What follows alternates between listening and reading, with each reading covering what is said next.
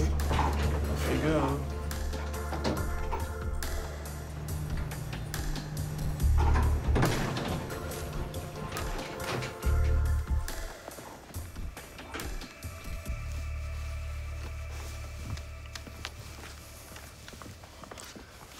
Hello, everyone. My name is Asi. And my name is David. David and I are two of four friends who together made Lost My Name, a magical personalized book for children. Um, we've taken the idea of a children's personalized book to a completely new level, and we like to think that we've created the best personalized book in the market. So, um, the books are called uh, The Little Girl Who Lost Her Name and The Little Boy Who Lost His Name and uh, they follow a child on a marvellous magical adventure. Um, so this is how it works. You go to our website and you put in the name of a child. So in this case, we'll put in Emily. And then you choose boy or girl. So girl, hit preview. And we work our magic behind the scenes, choosing from our huge database of stories and illustrations. And you can see your book. So if we just open it, here she is, the little girl's woken up and, oh, her name has disappeared. So off she goes to find it. She meets an eagle who flies into the sky on his back. Then she meets a mermaid. Little girl helps her out. Next, she meets um, an Inuit man who can't stand the cold. Next, she meets uh, a lion. And finally, a genial and very, very clever Yeti. And now all of these characters give the girl the first letter of their name. So E for eagle, M for mermaid, I for Inuit, L for lion, Y for Yeti, and hey presto, a name is found. If you like it, you order it online, we print it, and we deliver it to your door in days. Thank you, David. Um, Lost My Name started as a pet project. Uh, we launched it back in uh, October last year, and since then, in six months, we've sold 30,000 copies of the books, we shipped them to over 60 countries in the world, and we did it with very little uh, marketing spend. We're going to create uh, a new exciting company that combines the, the, the, power of stories with the possibility of technology to create more magical, amazing experiences for children. We're here today to invite you to join our seed investment round, and we're asking for £100,000 for 4% equity in our business. Thank you for listening. Could we see one of the books? Yes. Thank you. A tall tale or a winning pitch from Asi and David. They're looking for a hefty £100,000 for just 4% of their innovative children's book. The team behind Lost My Name just have to hope they haven't already lost Peter Jones's interest. Guys, um, when you were pitching it, I was sort of almost looking in the air, thinking this won't, this won't last very long. And then when you gave me these five books, and I opened them up and I saw my children's names in it, my sort of, my brain disengaged and my heart went to mush. That, that, happens to a lot of people who get the books. So that our success has been a lot of word of mouth and the feedback we get from Facebook and Twitter and bloggers is just overwhelming. The kids adore it, the parents adore reading it to the kids, and it's yeah, I mean, word of mouth has been phenomenal for us. It's really most. That's quite. It, it's it's intriguing. Hi there, I'm Kelly. Um, I think it's a really lovely idea. What does it cost? Each one is exactly the same. The book. Each book, yeah. For the customer. Yeah, because if you we're have a longer name, it's going to be more pages. Yes. Yeah, we're not going to punish people for getting longer, well, kids for getting longer names or shorter names. So uh, the book costs exactly the same for everyone. Which is? And, which is 18.99. 18? 1899. Okay. What's your turnover today? We turned over £460,000 today. £460,000 today? Yeah. Just selling those books? Six months, yeah. Wow. I just can't believe you make that much money out of one book.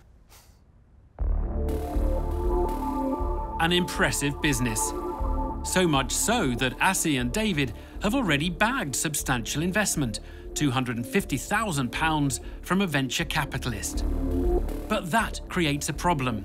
It leaves little room for the Dragons to negotiate on equity. Peter Jones wants to explore this investment conundrum. you did say 4%, didn't you? Yeah. Which was almost terrifying. so you've, you've, you've obviously seen Dragon's Den on television, have you? Yeah. And watched it. I like to think that one of the big things about what we do here is that we're investors on one side, but at the same time, we do like to negotiate quite hard. You realise that? Yep. Yeah.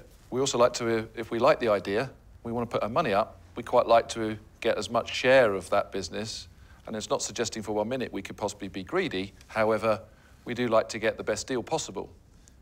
So my question to you is, if you have a venture capitalist that's invested a quarter of a million pounds at 10%, I clearly understand why you're pitching for £100,000 at 4%, but would you be able to negotiate a higher percentage share than 4%? And how would the VC feel?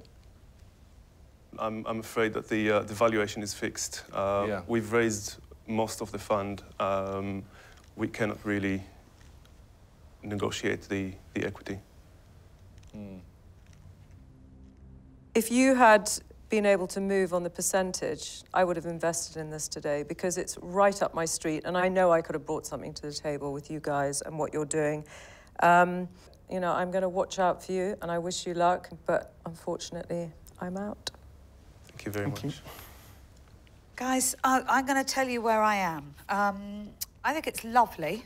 Um, I think the illustrations are lovely. Um, I actually think it's expensive for a softback book. I'd be really pleased with the book. Then I'd feel a bit, oh, maybe it doesn't feel quite as substantial for £20. And at 4%, I'm not therefore terribly engaged or excited by it. I can tell you really quickly. I, I'm, I won't be investing, so I'm out. Guys, it's a really big ask to make a decision on a non-negotiable basis whether, however good the idea is, to invest £100,000 for 4%. Um, it'll be interesting to see in five years' time whether £100,000 for 4% could have got a return. But it's just too rich for me to, to make that jump. I'm going to say that I'm out, but wish you the best of luck. Thank you very much. What do you want from a dragon, apart from £100,000 for 4%? What do you think a dragon can add? Um, Expertise. well, I, I think there's going to be two key things. A, uh, opening doors. Again, just, just cut the time that will take me to go into Selfridges and, and John Lewis and all the major retailers. and Can't, obviously, can't your venture capitalists do that? Um, to a degree, but I'm sure that you know you guys can probably do the same, only quicker. Um, and equally, the you know the, the, the PR element of having one of you guys on So on. what's that worth? so what's that worth? Let me just finish this a I, minute. honestly, I. I- Piers, let I me just cannot- finish this a minute. Yeah, just, Duncan, let, let me just, just come back to a minute. Let me just finish a minute. So you, you said opening doors into, into the shops. I just don't see how your ventures capitalists can't do that. But, and, and if they can't, and you're therefore getting an extra benefit from a dragon, why aren't you offering us a better deal? Um, we're just not not in a position like to do it right now. See, uh, that, that's one of the problems. You've, you've got a venture capitalist investor already, and he's now stopping you doing something that you would have done before you, you took his investment. So that's one of the problems when you get people like that investing in you. Um, and I think it just complicates it so much. I think, you know, I think this is a great book, and I, I wish you the very, very best of luck with it. But um, it's not an investment for me, not at 4% for £100,000. I'm going to have to say uh, good luck, but I'm out. Thank you. Piers Linney is the only dragon still in the game. Could his strong background in finance and in technology help him find a way through this deadlock? I'm still getting my head around the business. So you've got, you know, you've got him, a, a VC, a venture capitalist interested. So you've got other investors, the private individuals. What kind of terms are they getting? The angels are getting ordinary shares, like us. So what's the VC getting that isn't ordinary shares? a preferred shares? Because the issue you've got, you've come in with a structure. And no matter how creative I try and be now, I'm going to struggle to work around that structure. Be creative and put an offer in.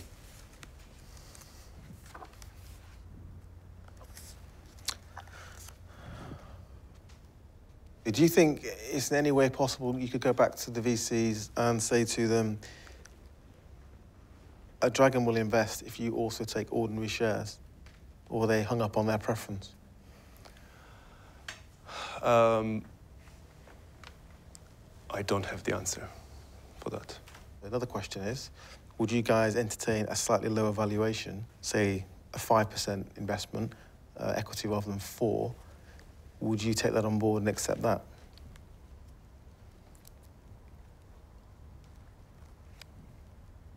Um, we will be happy to consider um, another 1% if you are coming on our advisory board and bringing the value, bringing the attention that we need. I'll make you an offer. 5%, all the money, 100 grand, but all your investors on this round take ordinary shares, and the terms I get are no different to the VCs. Obviously, I, I wouldn't be able to answer that question right now. I If you don't think you can deliver that, there's no point in wasting my time. If you think you can, there's a potential, and you're interested, then maybe there's a deal. we, we, we definitely want to explore that option. Listen, I'm interested in are that. you going to take away the offer I made or not?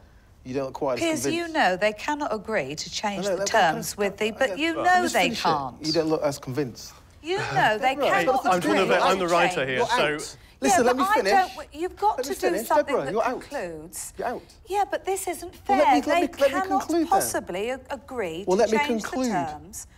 Because uh, are you interested? You don't look as keen. If you're not, there's no point taking it it. away. It's not that. I'm the writer, so when it comes to talking about this Fine, sort of okay. complexity, I'm So you'll just I'm defer just to your... So are we going to take that away?